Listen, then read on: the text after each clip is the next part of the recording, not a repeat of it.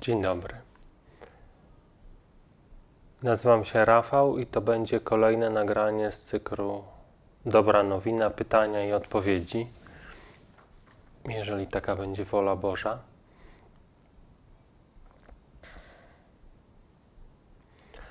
Więc standardowo zacznijmy od krótkiej modlitwy, w którym, w której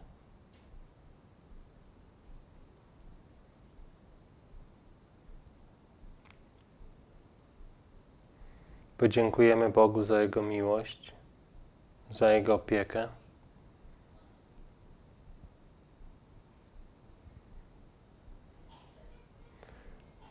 I poprosimy, aby wypełnił nas przez, tę, przez te parę chwil, które spędzimy razem, swoim światłem, swoją radością, pokorą, tak aby słowa, które dzisiaj dla nas przeznaczył, zostały przez nas przyjęte z otwartością,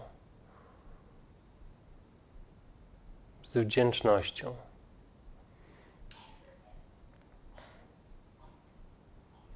I przez te parę chwil, które w Bożej obecności spędzimy, zostawmy wszystkie nasze przekonania, całą naszą wiedzę, wszystko to, co wiemy, że jest takie albo inne, że powinno być takie albo nie powinno być inne. Zostawmy to, co chcemy i to, czego nie chcemy.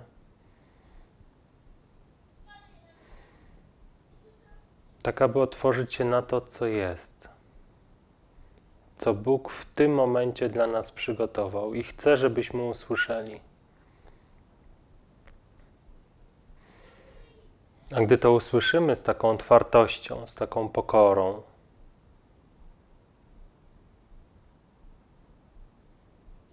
może stanie się cud. Może przyjdzie do nas uzdrowienie.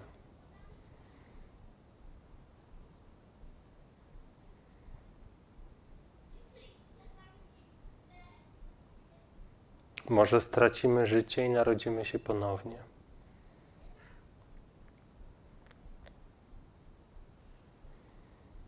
Bo nie będzie już nas, nie będzie tych, którzy wiedzą, tych, którzy chcą, albo tych, którzy nie chcą.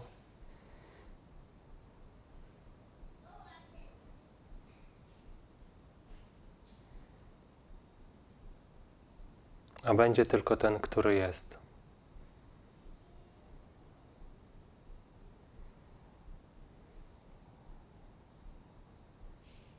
Więc taką intencją powierzmy się Bożej ciszy na chwilę.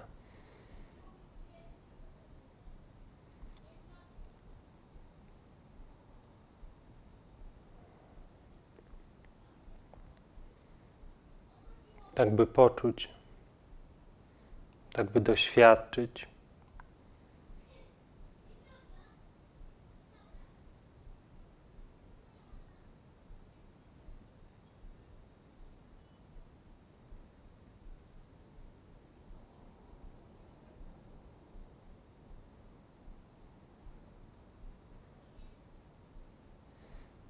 Darów naszego Ojca.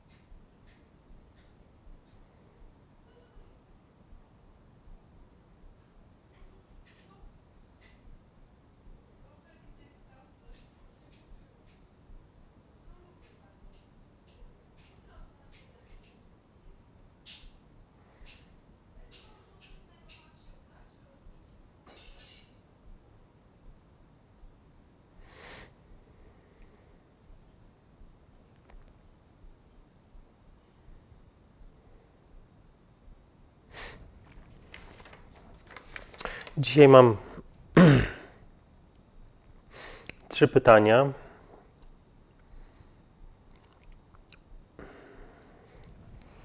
Rafał, chciałam zgłosić moje pytania do Twoich filmowych odpowiedzi. Pytanie pierwsze. Co robić, jaką przyjąć postawę w momencie, kiedy dopada nas tabun lękliwych myśli?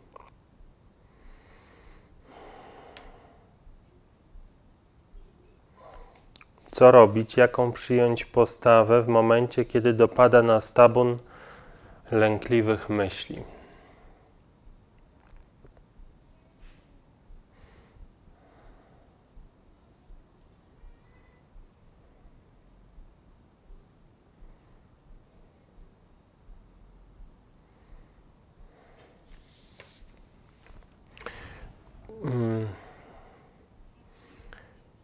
Jak, jak czytałem to pytanie, to też miałem taką, taką myśl być może, że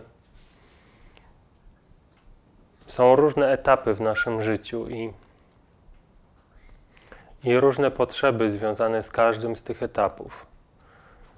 I być może jest taki etap w naszym życiu, i w moim na pewno taki był, że gdy przychodził tabun lękliwych myśli, ja musiałem coś robić.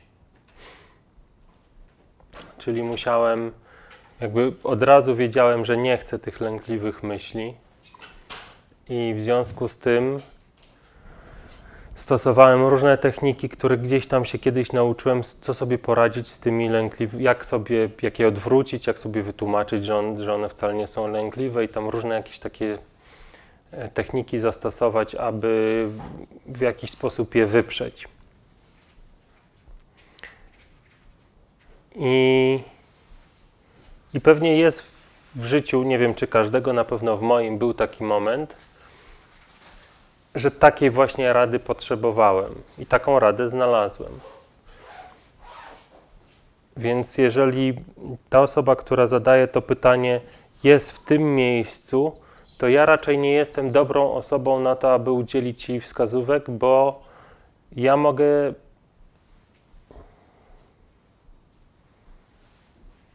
ja mogę powiedzieć, że nie wiem, co robić.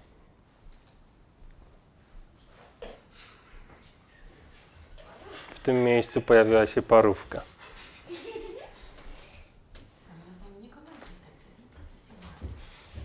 Te filmy nie są profesjonalne. Pozycję pracy ze szkoły językowej jutro spotkanie. Cudownie.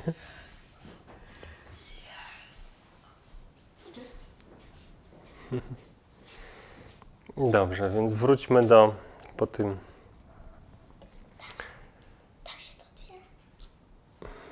Cudownie.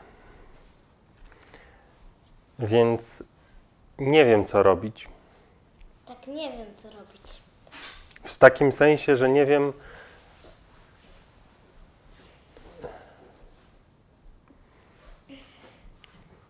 Że moją odpowiedzią, bo, bo dzisiaj tak otworzyć tą parówkę. Moją, jakby dzisiaj, dzisiaj był taki dzień, kiedy w moim życiu, e, w moim takim życiowym doświadczeniu pojawił się może nie lęk, ale smutek. Od, od rana miałem takie poczucie, że jest dużo smutku we mnie. Dużo takiego, takiej energii, którą identyfikowałem jako smutek i też mm, te mm, takie życiowe doświadczenia, które się wydarzały, to były kłótnie jakieś, było dużo takich nerwów. Tutaj w naszej rodzinie, zwłaszcza wobec Oli. I. O, czekaj, czekaj. Tak. I. Więc, więc można powiedzieć, że w pewien sposób doświadczyłem tego tabunu lękliwych myśli, chociaż w moim doświadczeniu bardziej bym powiedział, że to była energia taka, tak, jakaś, którą mógłbym tak nazwać i która w pewien sposób wyrażała się jakimiś myślami, które mogły mieć charakter taki, takiego, takiego bardziej smutku, lęku, może coś, coś w tym obszarze, tak bym to nazwał. I Ja wobec, takich, wobec takiej sytuacji, którą mnie, która mnie zastała, yy, po prostu jestem. Ja z nimi nic nie robię. Ja ich ani nie wypieram, ani nie zachęcam, ani nie yy, przytulam, ani nie odpycham. To jest trochę tak, jakbym przyjął je dokładnie tak, jak w jaki sposób one się manifestują. Nie osądzał ich, i to jest, to jest myślę istotne tym, co chcę powiedzieć. Nie osądzał ich jako tej mojej energii, która mnie wtedy wypełniła dzisiaj, jako chciana albo niechciana, jako taka, która powinna być, albo takiej, której być nie powinno. To jest tak jak dzisiaj w modlitwie, która gdzieś tam we mnie, ze mnie wyszła i pewnie niedługo pojawi się na blogu, pisze o tym, że aby otworzyć drzwi do, do raju, można tak powiedzieć, chociaż to w tej modlitwie trochę inaczej brzmi. Jezus mówi o tym, abyśmy porzucili samego siebie, wzięli swój krzyż i go naśladowali. I to wzięcie swojego krzyża to jest przyjęcie to, co jest dla nas przygotowane przez Boga. Więc dla mnie dzisiaj tym krzyżem było, były, był ten smutek, który mnie wypełniał od rana. I, I jakby jasne jest dla mnie, że nie jestem w stanie go ocenić, nie jestem w stanie i nie potrafię i nie chcę. Czy on jest dobry, czy on jest zły. Podobnie z lękiem, czy on jest dobry, czy on jest zły. Skoro się pojawia, to znaczy, że, że ma się pojawić. I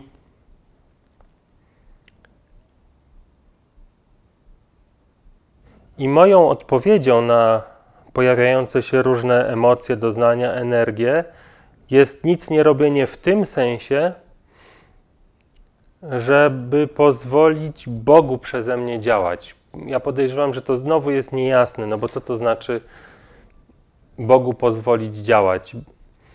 Dlatego, że jakby to, to jest istotne w tym sensie, że gdy mówię, że nic nie robię, to nie znaczy, że siedzę plackiem albo leżę, albo, albo przybieram jakąś pozę i nic nie robię na siłę. Nie, bo to też jest robienie. Nic nie robię, to znaczy, że poddaję się temu, co, co Bóg dla mnie przygotował. I czasami, i, generalnie to się przejawia w takiej zewnętrznej działalności na tysiąc różnych sposobów, bo mogę na przykład yy, zmywać naczynia. Tak, tak czuję, że, że, że, że to powinienem zrobić. Parę dni temu, kiedy też czułem jakąś taką energię, zacząłem coś rysować, bo, bo, bo tak, się, tak, się, tak się jakby gesty w tą stronę przejawiły. Więc nic nie robić to znaczy, że ja intencjonalnie nic nie robię, a pozwalam, aby Bóg kierował mnie. Tak jak jakby w cudzysłowiu sprawił, że ta energia we mnie się pojawiła, tak później sprawił, że zrobiłem tysiąc innych rzeczy, czy sto, czy dziesięć, czy jedną, czy w ogóle nawet nic nie robiłem, bo tak też może być. I w pewnym momencie ta energia się rozpłynęła. Pewnie za chwilę przyszła jakaś inna, ale to, co chcę tutaj powiedzieć, to to, że ja nie mam sposobu, jak sobie radzić z takimi rzeczami nie jestem w stanie w tym obszarze Wam pomóc. Ja mogę powiedzieć, co zrobić, żeby z wszystkimi problemami, jakby, żeby wszystkie rzeczy, które uważamy za problemy, za wyzwania, za takie, które się nie powinny zdarzyć, żeby one odeszły. A stanie się tak, kiedy poddamy swoje życie Bogu. Wtedy, kiedy pozwolimy, żeby On w nas działał, i kiedy odrzucimy to, że my wiemy, co jest dla nas dobre, a co jest dla nas złe, co jest przydatne, a co nieprzydatne, co powinno się wydarzyć, a co się wydarzyć nie powinno. I ja zdaję sobie sprawę, mówiąc to nawet, to czuję, że dla wielu ludzi to, co mówię, jest, jest tak nie do przyjęcia, że pewnie w tym momencie wyłączą ten film. I 100% zgody.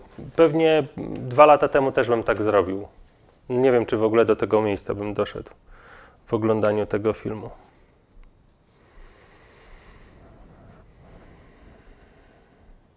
Ale być może są tacy, którzy wiedzą, o czym mówię. I potrzebują tylko odwagi, żeby pójść za tym, co już w nich dojrzało. Może potrzebują tylko tego, aby ktoś im powiedział, że to jest dobra droga, że to jest droga, która przyniesie dobre owoce, że to jest drzewo, które przynosi dobre owoce.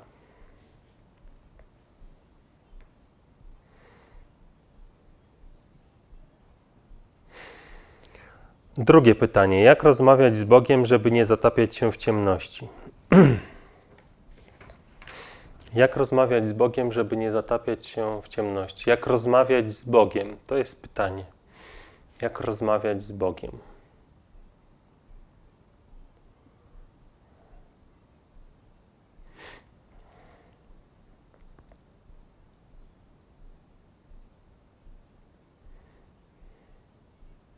Jak rozmawiać z Bogiem?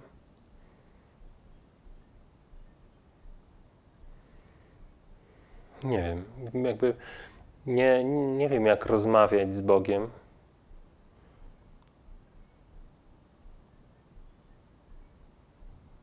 Ja chyba nie mam takiego poczucia, że tak, na, na jakby, tak jak czuję to pytanie, że z Bogiem można rozmawiać. Często miałem takie. Często miałem takie, może często, może nie, ale miałem takie doświadczenia, kiedy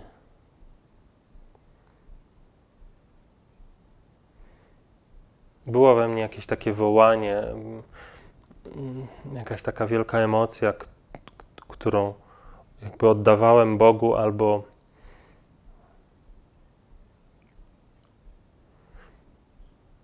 mm, tak jak to, to się na przykład wydarzyło, byłem w takim małym kościele w Portugalii y, i, i tam malutka kapliczka, ale, ale jakby tak piękna, z taką wspaniałą energią, że wpadłem w jakiś taki, nie wiem jak to powiedzieć, ale w, w, w taki stan, w którym jakby płakałem, wiedząc, że y, nie jestem uwielbić Bo w stanie uwielbić Boga w taki sposób, który byłby godny, godną odpowiedzią na to, jak, wielo, jak, jak wiel, wieloma darami mnie obdarzył, jak, jak wspaniałym jest dla mnie Panem i Ojcem. I, I, nagle przyszła odpowiedź, taka bardzo wyraźna, ale to nie była rozmowa, to była po prostu odpowiedź, w której, która wyrażała się w tym, że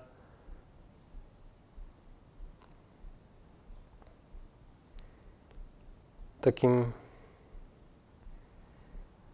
nie wiem, przekazie, jak to nazwać, w takich, nawet słowach to za dużo powiedziane, ale w takim zrozumieniu, że Bóg jest w moim sercu i to jest Jego ołtarz, to jest Jego Kościół. I tam Go właśnie mogę uwielbić. Nie muszę chodzić do żadnej specjalnej kaplicy, żeby uwielbić Boga i żeby Mu podziękować.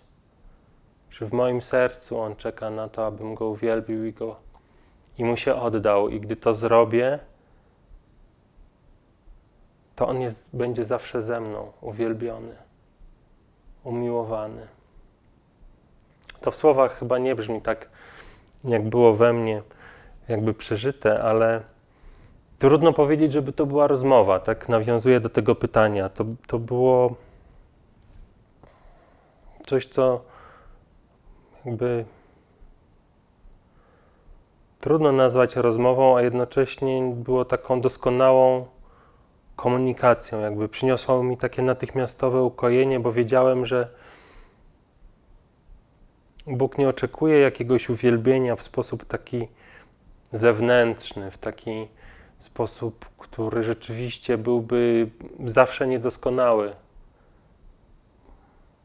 Bo zawsze mógłbym siedzieć w kościele o godzinie dłużej, czy w tej kaplicy, że nigdy nie byłoby dosyć tego uwielbienia za te wspaniałe dary, którym mnie obarczył, znaczy, którym mi, mi przeznaczył.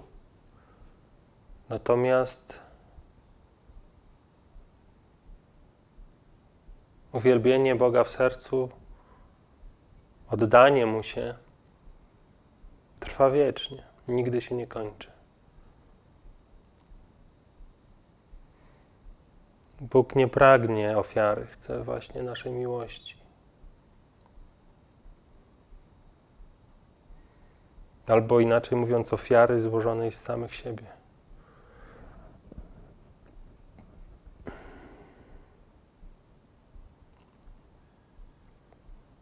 Więc jak rozmawiać z Bogiem, żeby nie zatapiać się w ciemności? Co to znaczy?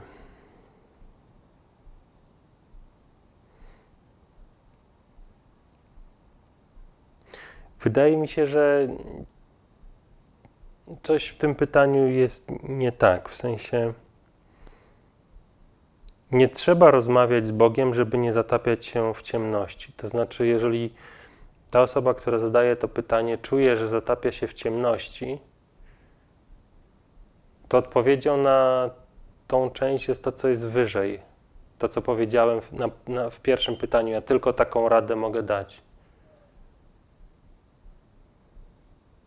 Pozwolić, aby w tym miejscu Bóg przejął stery. Nie robić czegoś w jakiś określony sposób nie rozmawiać z Bogiem, ani nie być głuchym na Jego czynienie. Nie, jakby nie, nie, nie w obliczu tej ciemności oddać wszystko Bogu, powierzyć Mu się całkowicie. To jest moje, to jest moja odpowiedź.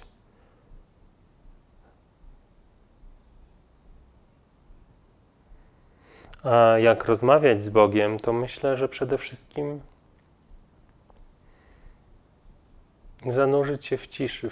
Cisza to jest język Boga.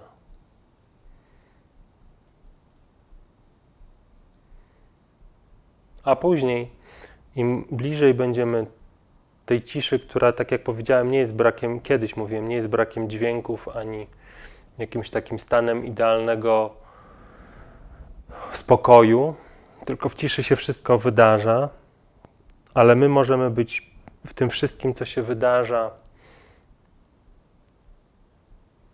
takiej ciągłej modlitwie, w ciągłym uwielbieniu Boga, kiedy stanie się to dla nas naturalne, będziemy wiedzieli, jak rozmawiać z Bogiem. Bóg sam nam to objawi. Dla mnie jakąś formą tej modlitwy, są, rozmowy z Bogiem są te modlitwy, które piszę, są te świadectwa, które spisuję, ale to może być tysiąc różnych innych sposobów, które się każdego dnia wydarzają. Również te filmy w jakiś sposób, które nagrywam, może nie są moją rozmową z Bogiem, ale mam takie poczucie, że przez te słowa, które wypowiadam, one, one są do mnie również skierowane. To nie jest tak, że one są przeze mnie do Was skierowane, tylko raczej te filmy przede wszystkim w moim doświadczeniu są do mnie skierowane i te słowa, które tak przypływają w tym momencie przeze mnie, ja je później odsłuchuję i jestem nimi zadziwiony, więc, więc to, jest, to są słowa, które Bóg do mnie kieruje.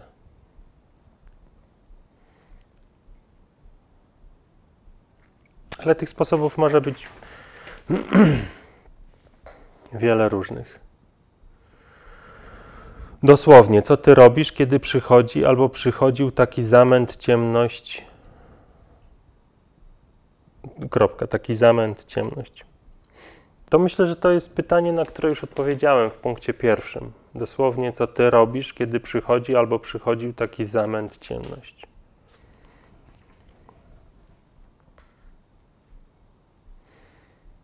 Myślę, że nie mam tu już nic więcej do dodania.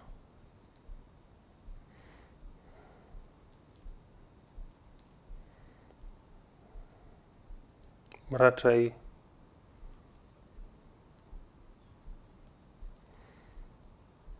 wszystko powiedziałem.